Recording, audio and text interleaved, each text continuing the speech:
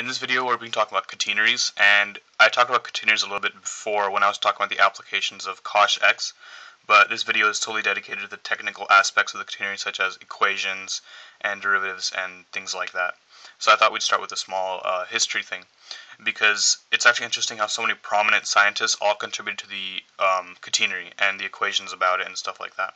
So it all starts with Galileo, and Galileo, in all of his intelligence, still thought that the form that you get from holding a string between two fixed points uh, was a parabola. So he, till the day he died, thought it was a parabola. Um, but what happened was the German mathematician Jungius proved him wrong, and he said that this is not a parabola. This is something totally different. This is, uh, well, this is a catenary. But he basically proved that it was not, not a parabola. And then what we had was a man called Jacob Bernoulli, um, who was best known for he actually kind of discovered Euler's number E before Euler did. Um, and even though that sounds weird, he didn't coin the term E, but he found he used it in his calculations of finance and stuff like that. So he's kind of attributed with that.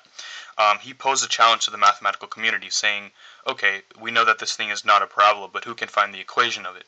So three men together, uh, Leibniz, Johann Bernoulli, and Huygens, together found the equation of a catenary, which we'll see in a second. And uh, Johann Bernoulli, which was the brother of Jacob Bernoulli, and he was best known for educating Euler in his youth. He was one of Euler's professors, teachers.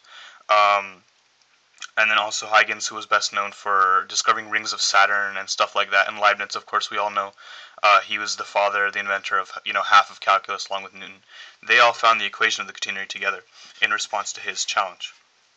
And then we attribute Robert Hooke, who most people know as the person who coined the term cell, uh, as the small building block of life. You know the uh, the small cells that hold like all the organelles and stuff like that. He was the one who coined that term. He's best known in the world of catenary for applying this catenary to actual life. What he did was in St. Paul's Cathedral, he was the first one to use the catenary as an arch shape, like turned upside down just like this, um, as one of the strongest shapes that you can use to make uh, a building. So all these people just kind of collaborated. It was a big teamwork effort, and that's how we get all the properties, all the math, math equations, and the real world applications of the catenary. So enough about that. Let's move on to a little bit of math now. So now a catenary that we looked at before to refresh, the equation is given by y equals a cosh x over a. And a can be any constant really. So if it's if a is 1 then we have the simplest catenary, just cosh x. And cosh x by itself is a catenary. And just to refresh on how that looks on a graph, it is not a parabola, has a different shape. It looks like this. Um, so it's definitely not y equals x squared because it doesn't even touch the origin.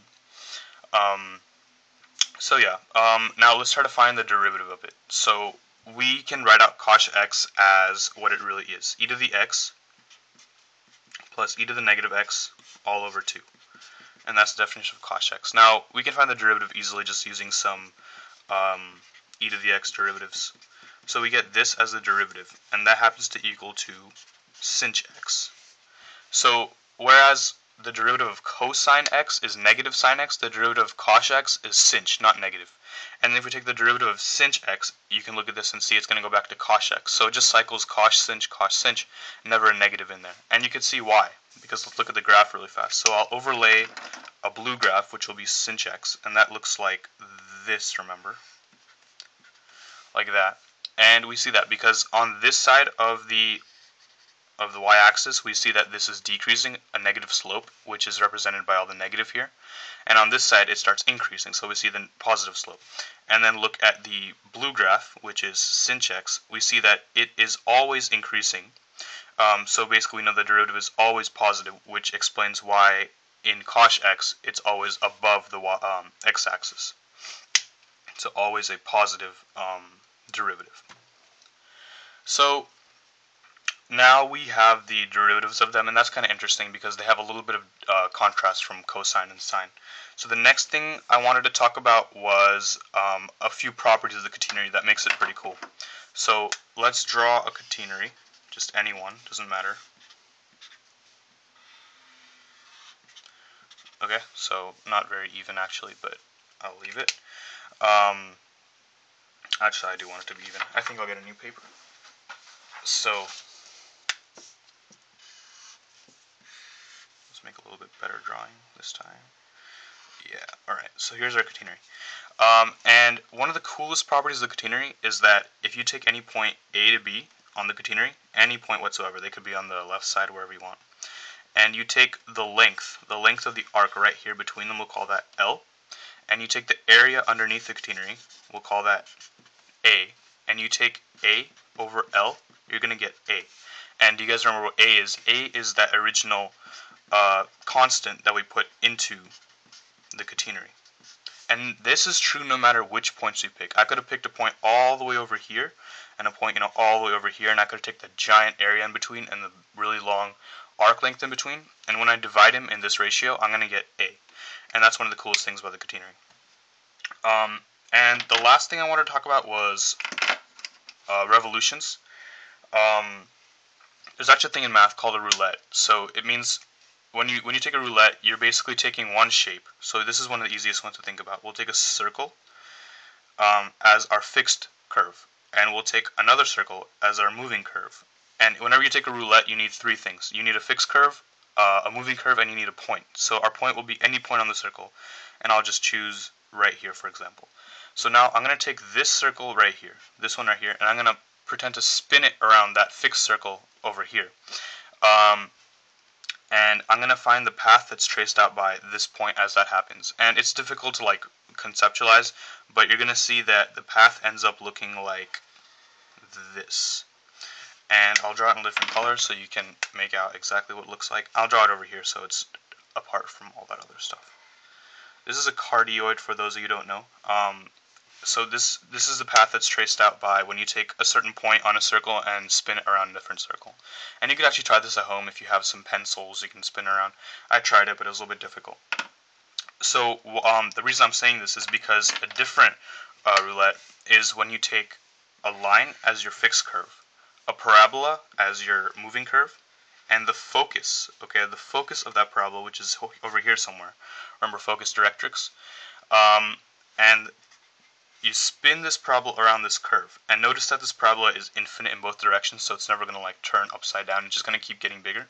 So this focus, let's say the next parabola, that might look a little bit like this. And the focus ends up being up here, which is a little bit higher. Uh, and then the parabola just goes up and up. So we'll draw, pretend the parabola is all the way like over here now, you know. Now the focus is over here.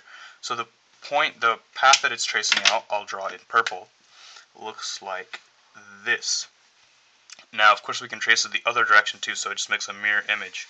And it turns out, this is a really cool thing, that the purple path that's being traced out is a catenary. So even though the parabola and the catenary are not the same curve, they do have this amazing relationship with each other. That when you uh, take the roulette of a parabola over a fixed line, and this can be any line, you take the focus, the focus will trace out a catenary perfectly. And I find that pretty amazing. And last thing to wrap up this video is another roulette um, cool fact. And that is that if you have, let's say you want a square um, or a triangle, any regular polygon. The point is it has to be regular, which means all the sides, all the angles have to be the same.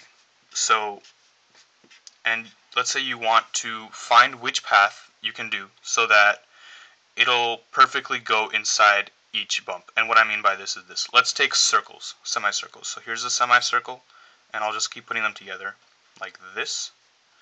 Now if I were to take this triangle, and I'll begin it right here, and I'll just put its point right here.